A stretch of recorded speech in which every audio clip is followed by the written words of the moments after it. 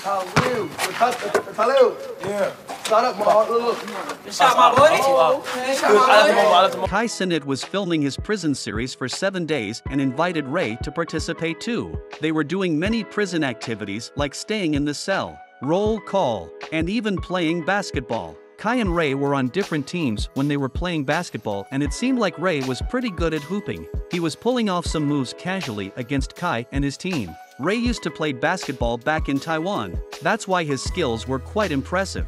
Viewers were even saying that Ray looks like Jeremy Lin out on the court. Oh, this is what I'm feeling. What a, what a bro. What a bro.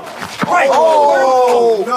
Oh, People can tell that Ray actually plays ball because he was doing moves like the hesi and left-handed layups, which even surprised the other players. Do you think Ray was pretty clean with his ball skills as well?